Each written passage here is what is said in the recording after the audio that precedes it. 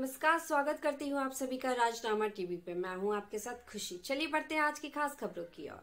माननीय राज्यपाल श्री रमेश बैस ने आज राजभवन में दिव्यांग क्रिकेट खिलाड़ियों से भेंट कर उन्हें प्रोत्साहित किया। राज्यपाल महोदय ने उनकी विभिन्न समस्याओं की भी जानकारी ली।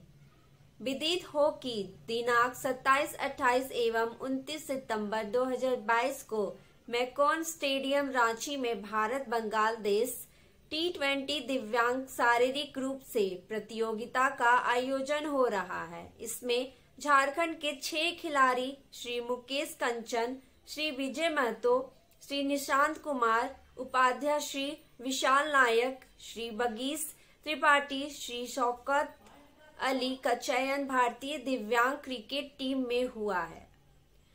राज्यपाल महोदय ने इन सभी खिलाड़ियों को प्राप्त इस उपलब्धि हेतु बधाई दी, एवं भविष्य के लिए शुभकामनाएँ दी।